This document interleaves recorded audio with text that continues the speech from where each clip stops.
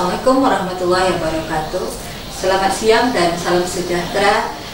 Uh, kenalkan nama saya Sri Mayena. Saya selaku Ketua Jurusan Tadris Fisika Yayan Batu Sangkar pada periode 2020-2024. Nah, adapun uh, jurusan Tadris Fisika pada awalnya berdiri itu bernama program studi uh, Tadris Fisika. Kemudian ketika sudah alih status dengan Yayan Batu Sangkar diganti menjadi jurusan Tadris Fisika. Adapun visi daripada jurusan Tadris Fisika yaitu menjadi program studi yang unggul dalam bidang pendidikan fisika yang integratif bereputasi global dalam bidang pendidikan fisika pada tahun 2030. Dengan misinya yang pertama yaitu menyelenggarakan kegiatan pembelajaran fisika yang unggul dalam bidang pendidikan fisika yang terintegrasi Al-Quran dan Hadis. Kemudian melaksanakan kegiatan penelitian dalam bidang keilmuan fisika dan pendidikan fisika yang integratif serta melaksanakan kegiatan pengabdian masyarakat yang berorientasi pada perkembangan iptek dan menerapkan tata kelola prodi yang berkualitas, efektif, dan efisien serta melaksanakan kerjasama dan kemitraan dengan instansi terkait baik lokal, nasional maupun internasional.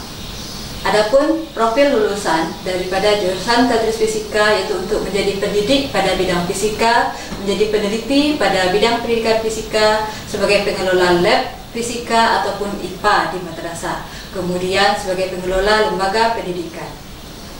Ada beberapa kegiatan di jurusan itu seperti visiting doktor, workshop dari media pembelajaran, serta kegiatan pekan fisika yang setiap tahunnya diadakan bekerjasama dengan HMG. Di jurusan Tadris Fisika ini eh, terdapat beberapa fasilitas seperti labor fisika dasar, labor elektronika dan instrumentasi, labor eksperimen fisika, labor teknologi pembelajaran.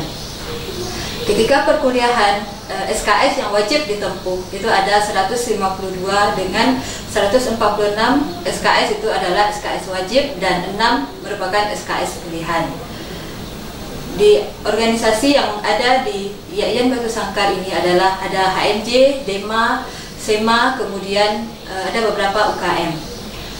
Untuk jurusan Tadris Fisika, dosennya terdiri daripada tujuh orang dan satu sedang menempuh S3. Eh, banyak sekali prestasi yang telah diraih oleh mahasiswa pada jurusan fisika, baik prestasi akademik maupun non-akademik, seperti juara 3 pionir 9 PTKIN, kemudian juara Olimpiade Mahasiswa se-Sumatera Barat, juara 2 lomba pameran produk, kemudian juara 1 lomba karya tulis ilmiah se-Indonesia. Nah, kami dari uh, jurusan Tadris Fisika itu sangat bangga atas prestasi dari mahasiswa. Semoga uh, jurusan Tadris Fisika lebih uh, berjaya dan semakin maju. Demikian terima kasih. Assalamualaikum warahmatullahi wabarakatuh.